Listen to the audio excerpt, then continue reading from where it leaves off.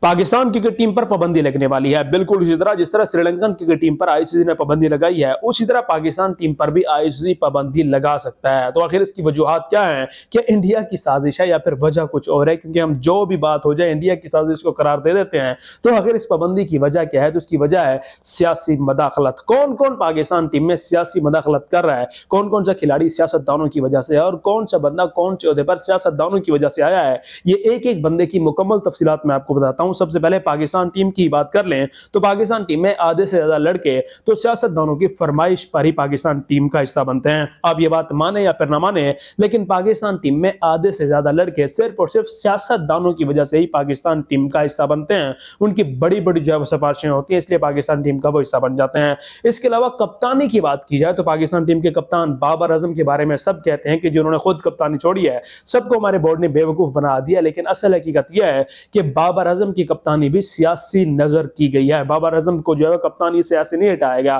بلکہ سیاسی مداخلت کی وجہ سے بابر اعظم کو کپتانی سے ہٹایا گیا تھا۔ یہ بات بہت سارے لوگ نہیں مانیں گے، لیکن یہ بات سچ ہے کہ بابر اعظم نے کپتانی خود نہیں چھوڑی، بلکہ ان سے زبردستی یہ کپتانی چھڑوائی گئی ہے۔ اور بہت سارے لوگ یہ بھی کہتے ہیں کہ پاکستان ٹیم کچھ جوئے کی کمپنیوں کے ساتھ کچھ معاہدہ کرنا چاہتی تھی، جس کی وجہ سے محمد رضوان اور بابر اعظم اس کے جو ہے وہ آڑے ہاتھوں کو لے رہے تھے کہ جی ہم جب تک کپتان ہیں یا پھر ہماری جب تک چل رہی ہے، ہم پاکستان کی ٹیم کے اوپر جو ہے وہ کسی بھی جوئے کی کمپنی کا لوگو نہیں لگانے دیں گے اور شاید یہی وجہ تھی کیونکہ آئی سی سی کو چالیس سے پچاس کروڑ روپے پر ٹورنامنٹ کی آفر کی گئی تھی اس جوئے کی کمپنی کی وجہ سے، جو کہ بابر اعظم اور رضوان کی وجہ سے مکمل طور پر گھاٹے میں چلا گیا پی سی بی۔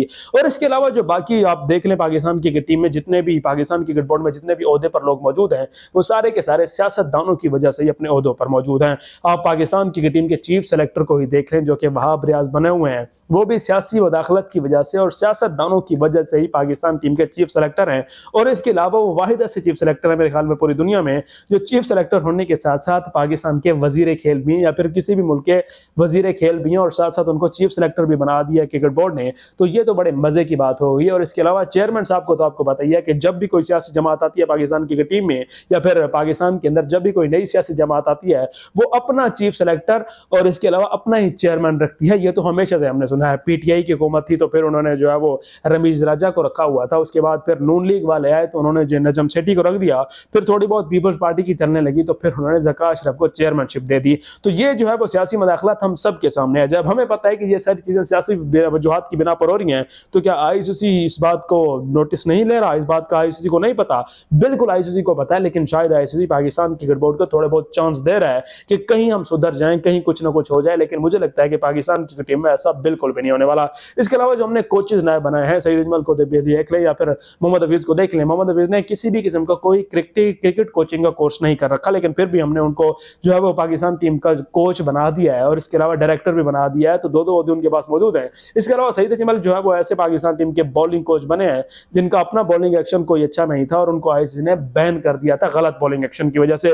میں ان کے اوپر تنقید تو نہیں کر رہا، لیکن یہ ساری کی ساری چیزیں سیاست کی وجہ سے ہو رہی ہیں اور میرے، میرا جو ہے وہ دل دکھتا ہے کہ پاکستان کی ٹیم کے ساتھ ایسا کیوں کیوں کیا جا رہا ہے؟ کیوں ہم پاکستان کی کرکٹ ٹیم سے یا پھر پاکستانیوں سے جو ایک کرکٹ ہمارے پاس بچی ہوئی ہے، خوشی کا ایک انصار ہمارے پاس موجود ہے، اس سے پاکستان کو، پاکستانیوں کو کیوں ہٹانا چاہتا ہے پاکستان کرکٹ بورڈ؟ تو میں سمجھتا ہوں کہ آئی سی سی کی پابندی لگانے سے پہلے پاکستان کرکٹ بورڈ کو خود اس بات کا ایکشن لینا چاہیے اور خود تھوڑے بہت نوخوش کے ناخن لینے چاہیے تاکہ پاکستان کرکٹ ٹیم کے اوپر کسی بھی قسم کی کوئی پابندی نہ لگے۔ آپ ویسے اس کے بارے میں کیا کہتے ہیں؟ اپنی رائے کمنٹ میں ضرور دیجیے گا اور مزید سی اپڈیٹس کے لیے ویڈیو کو لائک اور چینل کو سبسکرائب لازمی طور پر کر دیجیے گا۔